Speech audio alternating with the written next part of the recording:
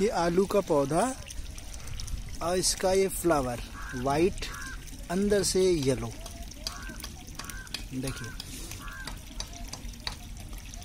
दिख रहा बहुत ही शानदार।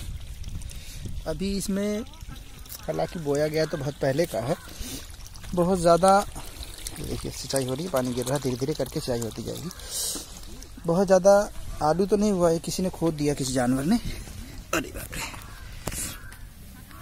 ये देखेंगे, ये ये आलू है।